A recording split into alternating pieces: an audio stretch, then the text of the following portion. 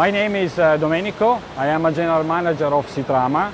Sytrama is a company that produces robot and automation uh, for a plastic industry, uh, especially dedicated to an injection molding machine. It's an Italian company located in Milan. In this last year, uh, our uh, improvement will be direct to uh, improve our human resources and to improve our product in order to become the best partner for automation for the plastic industry. Here we can show the technology that we are using for our product and uh, for give the best uh, uh, solution we, we are adopt the platform from B&R for all the product that we are seeing there.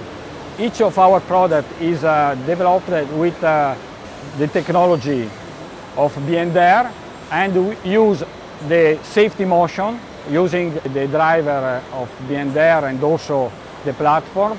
We use also the networking capability of this uh, platform to be compliant with the new Industry 4.0. This last new feature that we are presenting is the remote service.